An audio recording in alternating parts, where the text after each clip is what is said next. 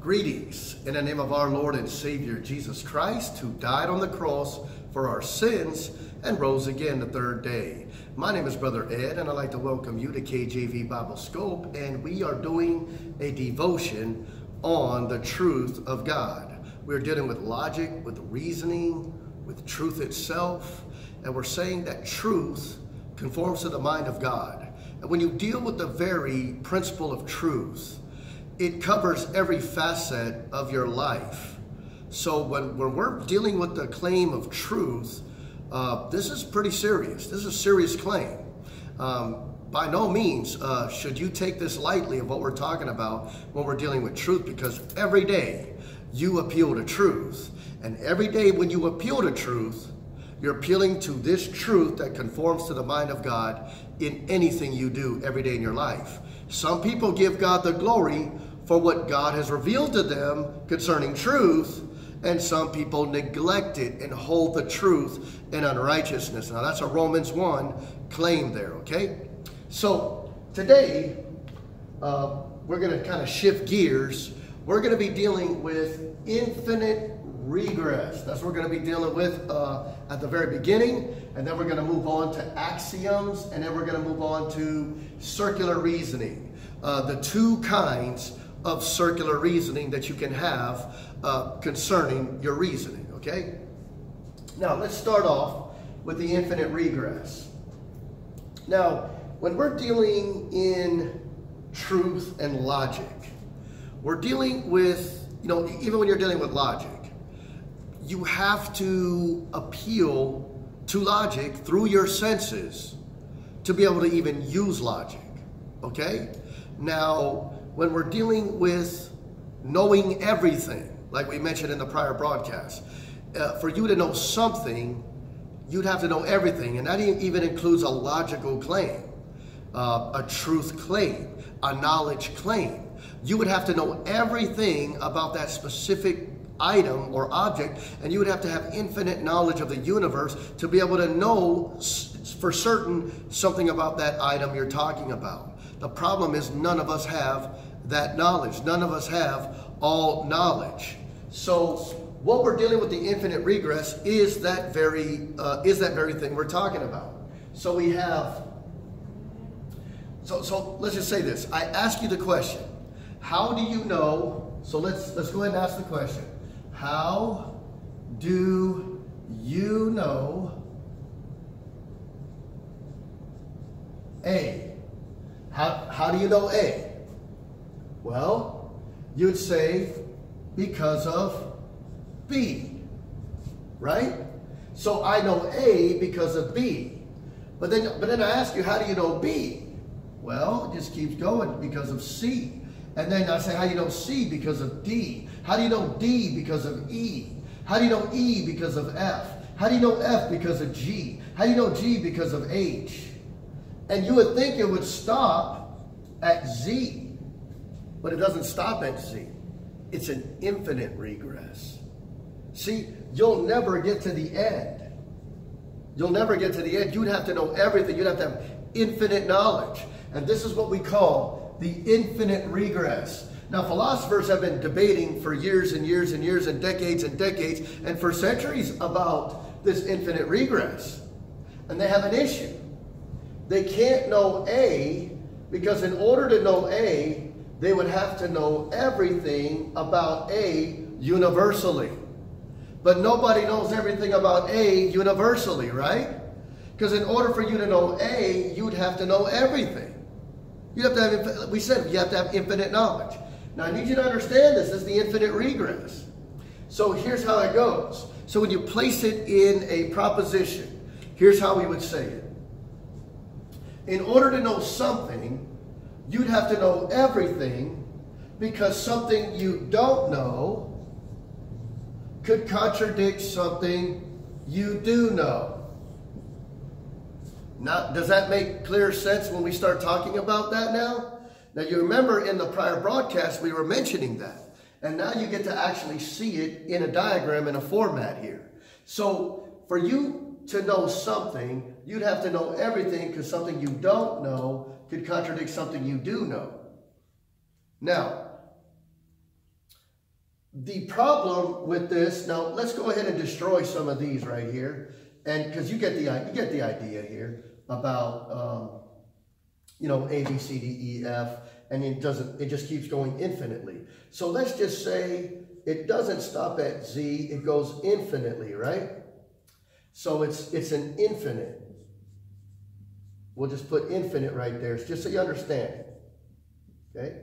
So you got to know all that to know something. And people say, well, now that you put it that way, now I understand it. Now I know that I, I would have to know everything to know something. But it's ridiculous. Why? Because you do know things. You do know things every day. Right? So this is going to be the problem, all right? So we can have a little, maybe a little light bulb or some sunshine here, right? A little light bulb. You do know things. When I'm giving this infinite regress, I'm not saying you don't know things. I'm showing you the problem of the unbeliever's stance the problem of philosophy in an unbeliever circle, the problem of atheists and agnostics, the problem of the general unbeliever. They have this issue here and they can't get out of it. it, it is an infinite regress. So, the, so this is why it's such a problem because they have this infinite regress, but every day they know things. That's a problem, isn't it? Well, not for the Christian. So this, now, now look, this is for the unbeliever. So just write unbeliever there, right? They're stuck in this contradiction, right? They, they can't know anything, but yet every day they know things. It's a contradiction, right? So let's write, let's write it right here. Contradiction.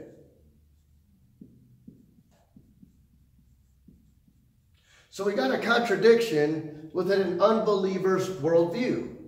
So they know things, but yet they say they can't know things. It's, it's crazy, isn't it? Now watch this. Let's go on this side. Now,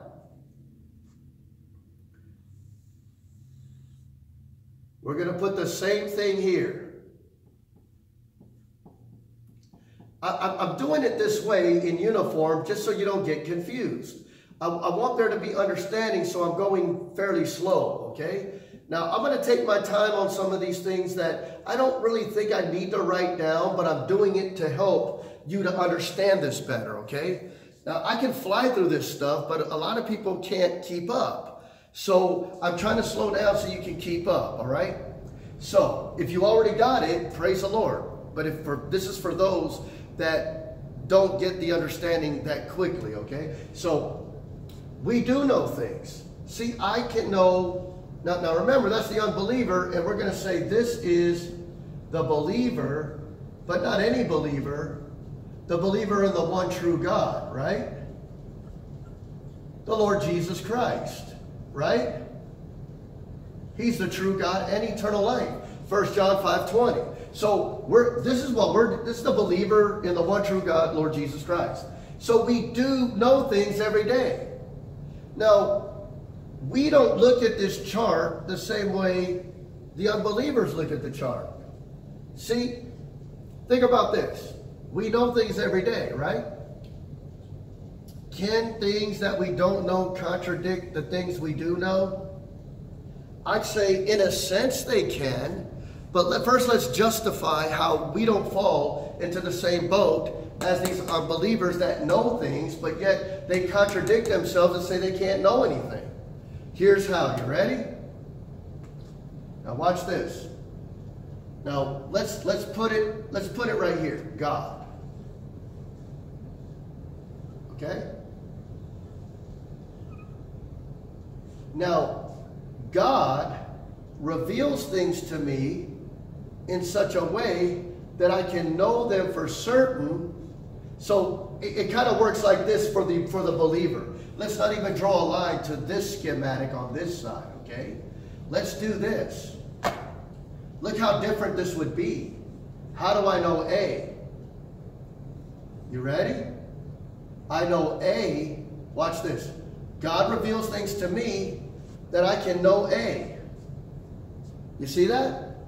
God reveals things to me that I can know A, so I don't need to know B, C, D, E, F.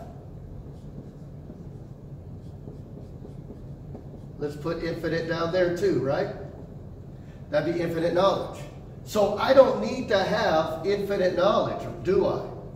I just let God reveal things to me in such a way I can know them for certain. So there are aspects in the mind where you can ask, well, how do you know A? Because of B. How do you know B? Because of C. And, and you can say, well, I can make it all the way down to D, but then I can't know anything past that. But I can know D for certain because God has revealed things to me. See, God has revealed things to me in such a way that I can know D. And I can keep doing that with E I can keep doing that with F. And I can keep going down the line. And then there may, there may be a time when I get to Z that I may not know. See, I don't know Z. See, I don't know what Z is. So we're not saying that God gives us absolute knowledge of everything, but I'm saying that there are things in this world that God gives us knowledge about. See that? He gives us knowledge about those things. And we can know those things for certain. So we're not saying that we have, you know, an, an, an infinite mind. We're saying God has an infinite mind and he reveals things to us in such a way we can know them for certain. So the, the revelation of God, we're not talking about the book of Revelation or things like that. We're talking about uh, truth, knowledge that God has, has manifested within every human being. The framework for understanding the world and how it works on a general level, not on an absolute level, on a general level. But then in that general level of knowledge, we do know things absolutely. There are certain things we know absolutely. I can know I love my wife. I, I mean, uh, these are these are more conceptual things, but we can know these things. I can know that I I have a camera on a tripod right in front of me. I can know that. And I know that for certain. Okay, so there are things that we know for certain. So the Christian worldview doesn't give up on certainty. The Christian worldview doesn't give up on knowledge, on truth, on science. So my claim is you can't even get those things off of the ground unless you start with God. Okay, so that's that's the contention right there, and you can see how powerful it is. So that's the infinite regress.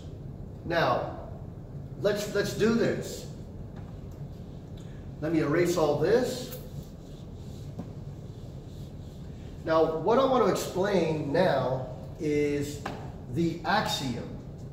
Because uh, remember we, we did it before, you know, how do you know A because of B? How do you know B because of C? How do you know C because of D? How do you know D because of E? And then what the, a lot of philosophers, you know, atheistic philosophers and um, I'm trying to think of, of, of the name, um, a lot of scientists and, and, and people to that effect.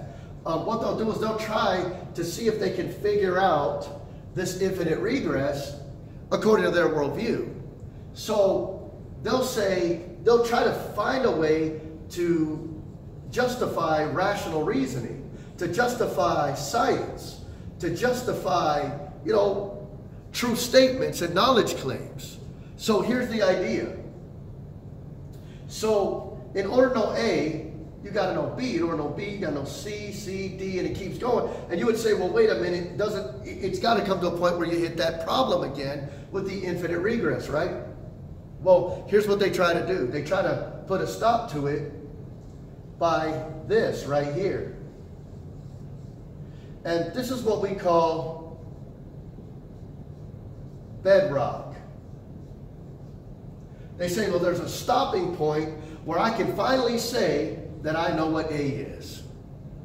It, it, it's not the fact that they solved the infinite regress, but that they're making some kind of a claim right here that puts a stop to the infinite regress. Meaning they don't have to have all knowledge. You say, well, how do they do it? Now, now watch this. This is tricky you have to assume you have to assume that your reasoning is provisionally uh, coming outside of the lines there, provisionally valid. you guys see that? So you have to assume that your reasoning is provisionally valid. Now, this is how they try to get out of it. That, that they don't have to have infinite knowledge, right? Here's how. So they don't have to have infinite knowledge. I don't want you to get confused. This is a false assumption. This, I'm giving you a false assumption of what they try to do to conquer the infinite regress, and it, it, it's not logical, it's not rational, okay? But here's what they try to do. They try to say, well, we, we're going we're gonna get out of the infinite regress, and this is how we're going to do it. There's bedrock. There, there, there comes a time when you peel away all the layers, and, and something is just because it is. Now, think about that statement. Something is because it is. Is that not circular reasoning? You're going to have people at a university, people at a university use this argument to justify their, their logic and their reasoning. They say it is because it is. And they don't allow you, because here's the question you need to ask them. So if I say God is because he is, you know, God says, I am that I am. So you'll be okay with that. It's fine. You know, logical fallacy and circular reasoning is okay with you. Now, I'm not saying when God says, I am that I am, that's a logical fallacy. And I'm going to explain that in a minute when we get deeper into axioms. But here's what they got to do. I ask you, how do you know it is that it is what it is? Right? How do you know this? So you're you're here, right? If you're an unbeliever, we'll just put uh, L for lost man. Okay? So in your you have to use knowledge. We'll put K for knowledge. You have to use knowledge when looking at anything, including making statements and things that are conceptual, you still have to employ your reasoning, right? So, so these are your senses, right? But in your senses, and, and to get through to your knowledge, and for, to, for you to understand that knowledge, you have to employ what? Here it is.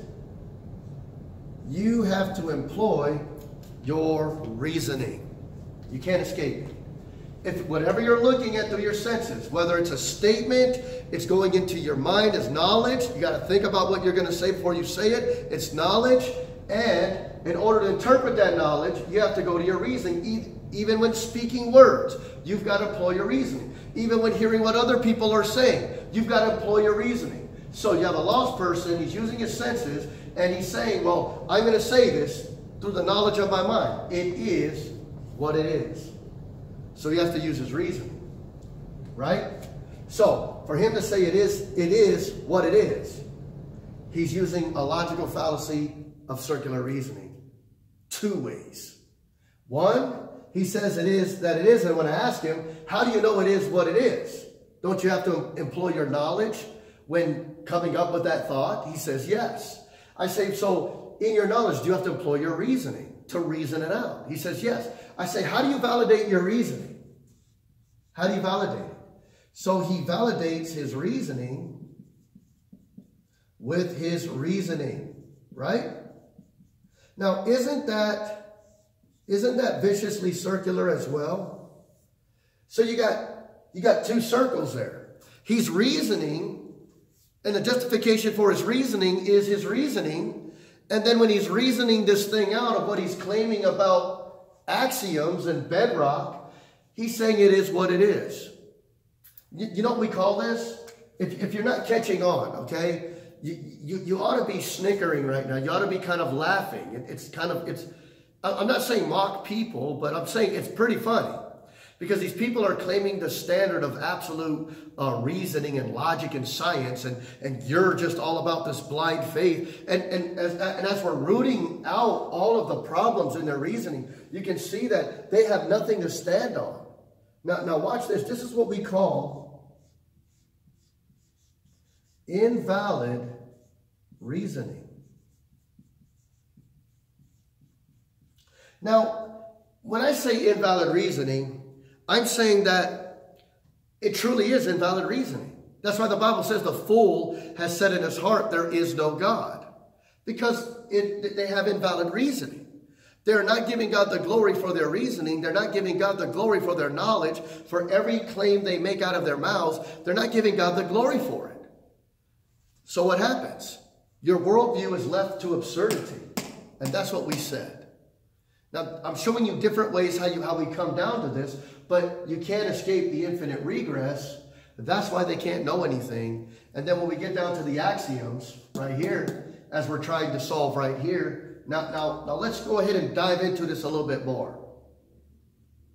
So, if you did want to assume this, what we call a theory, if you want to assume that theory, then you got a, a number of, of gymnastics you got to do concerning your reasoning. Now, number one, you have to assume that your reasoning is provisionally valid. Now, that doesn't get you out of circular reasoning. It doesn't at all. Now, why? Because let me ask you the question what is an assumption? What is an assumption? Assumptions are propositions made by, you ready? By blind faith. Wow. So wait a minute. You can't know your assumptions because they're made by blind faith. Are, are they not? Look, the proposition's made by blind faith. That's what an assumption is. It's pretty sad, isn't it? And you're going to tell me that's how you get to bedrock? That's how you can actually know that you can know A? You can't know A. You said, well, well, I got out of it because I can assume that my reasoning is provisionally valid. But wait a minute. I ask you, how do you validate your reasoning? How do you validate your reasoning? And you validate your reasoning with your reasoning. So my question to you is, if you have no plumb line to truth, what are you left with? You're left with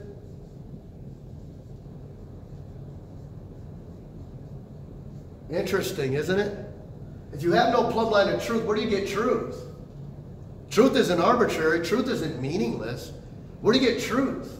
Truth isn't relative. Where do you get truth? You only get truth from God. Now, another question. How do you utilize truth? How do you utilize it? You ready? In your mind. Let me ask you another question. How do you utilize logic? In your mind, right?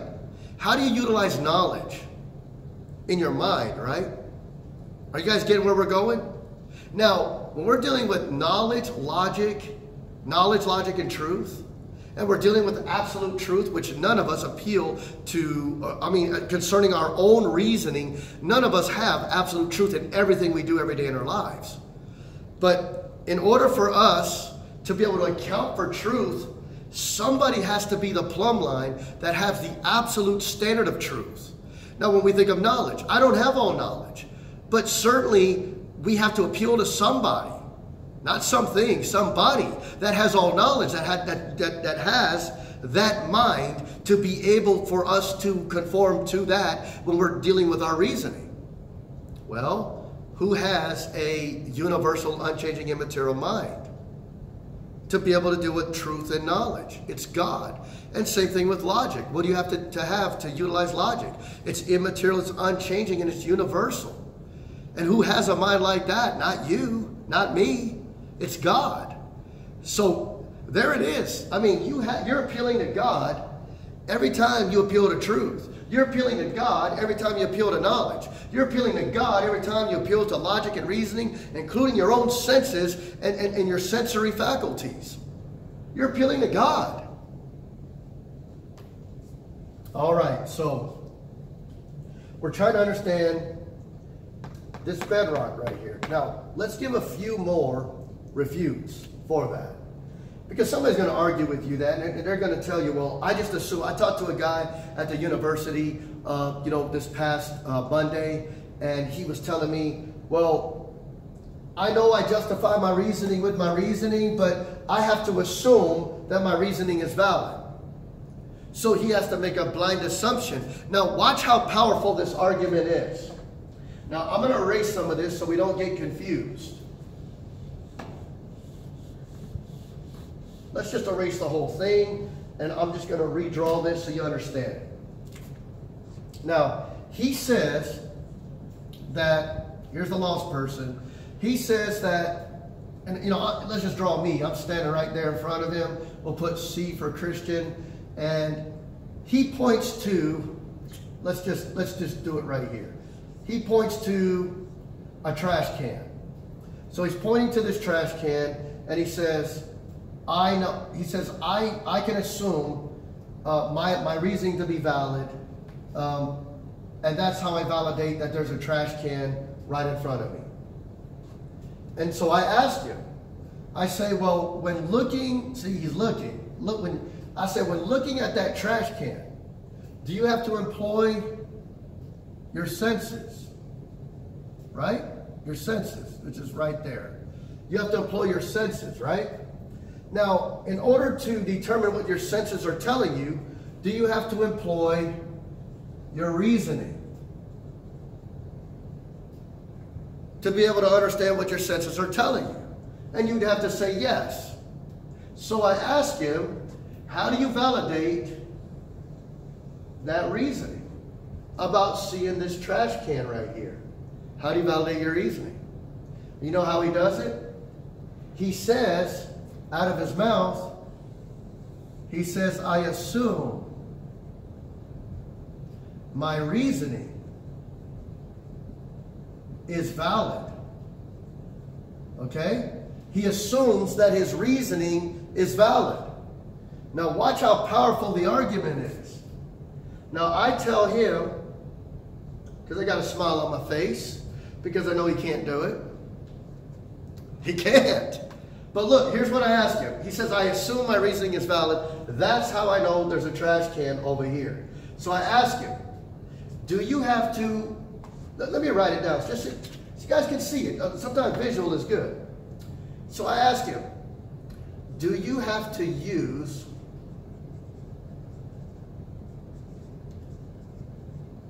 your reasoning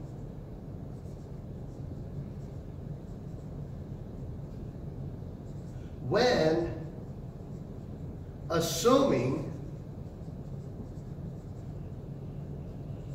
your reasoning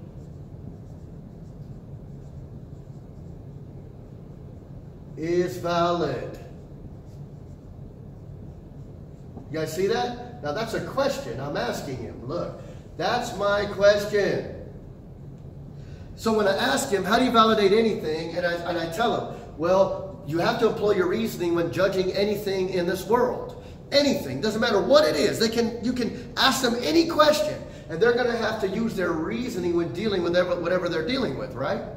So then, when I ask him, how do you know your reasoning is valid? And then he makes this broad statement right here about assuming that his reasoning is valid. Watch, watch how powerful that is. Do you have to use your reasoning when assuming your reasoning is valid? So guess what that means? Even in this assumption right here, it's dealing in a logical fallacy.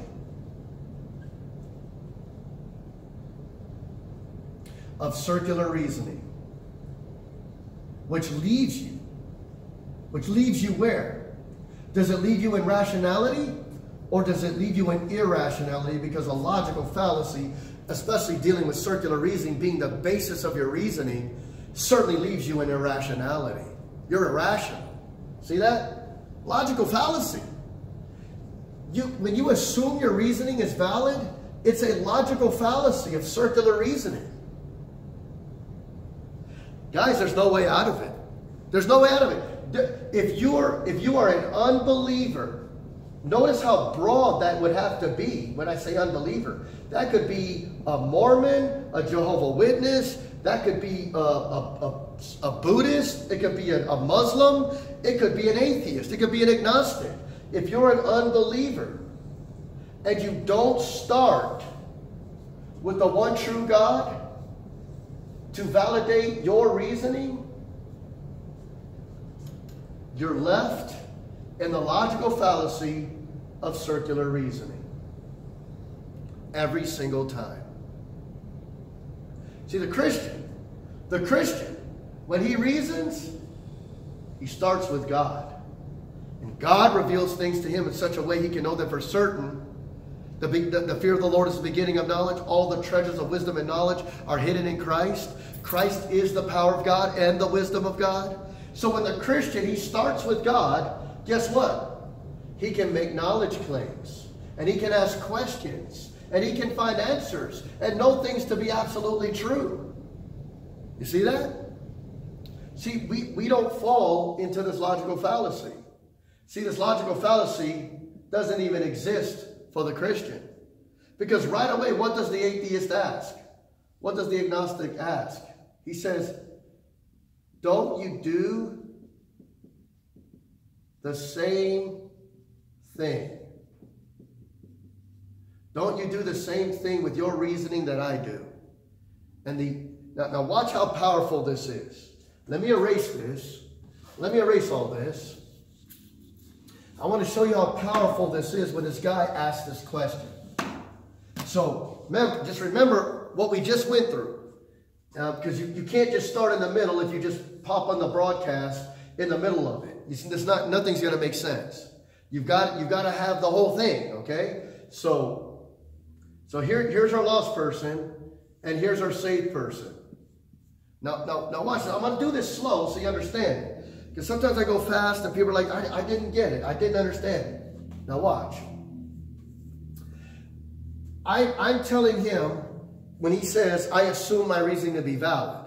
And I say, but you have to use your reasoning when, when assuming your reasoning. So you're justifying your reasoning with your reasoning, even about reasoning validly. So you can't even know your reasoning validly. That's how, that's how powerful the argument is. Now, look, now he's going to say, you do the same thing, right? Now, if you've been keeping up with the broadcasts, you'll know that we don't do the same thing as Christians, right? But now watch, watch the many arguments you could give him. Um, there's so many avenues to travel on when he tells you that.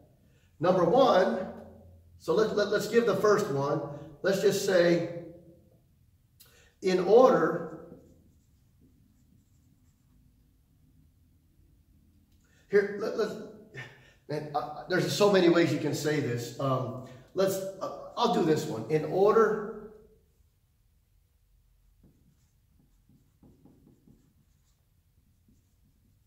in order to know that you have to start with god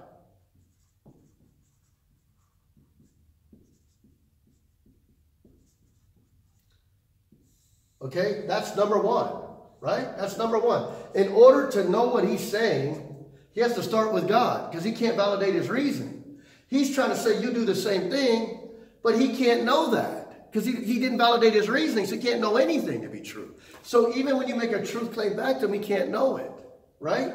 So in order to know, to, to know that, you have to start with God. Number two, um, out, out of us two, I mean, you could say it different ways out, out of us two, out of you and me, I'm, I'm the only one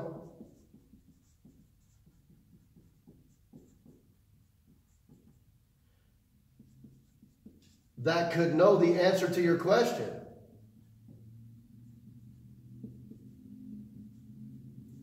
Because I have a justification for my knowledge. So that's, you know, I'm not going to say that's two. It's kind of dealing with the same idea right there. But, but there, there's so many ways you can answer this. Look, he says, well, you do the same thing. Well, look, if you can't know anything, I mean, there's so many ways to answer this question. If you can't know anything, because he has no justification for knowledge, He has no justification for reasoning because his reasoning is invalid, justifying his reasoning with his reasoning. So if you can't know anything,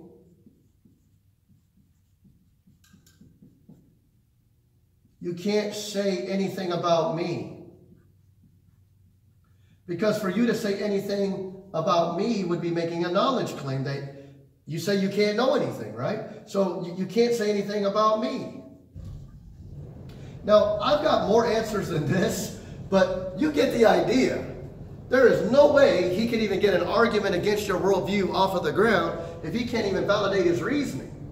There's no way to do it. Look, there's a question mark there. He can't know anything.